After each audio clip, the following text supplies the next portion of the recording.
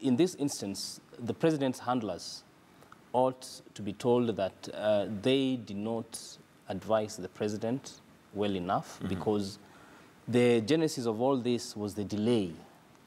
Uh, and it started uh, by the president delaying in gazetting, you know, the, the, The exit of yes, yes, yes.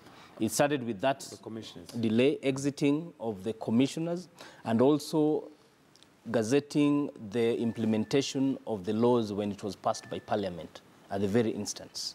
And this delay, obviously, it was very crucial. We had less time. And now the impasse that we are faced with is that we are walking into these elections uh, not fully prepared and in a spirit of discord. We had hoped because uh, with the end of the Machozi Mondays, there was the bipartisan spirit. CORD and Jubilee came together, they negotiated this law And agreed on certain and things. agreed on certain in things. And we hope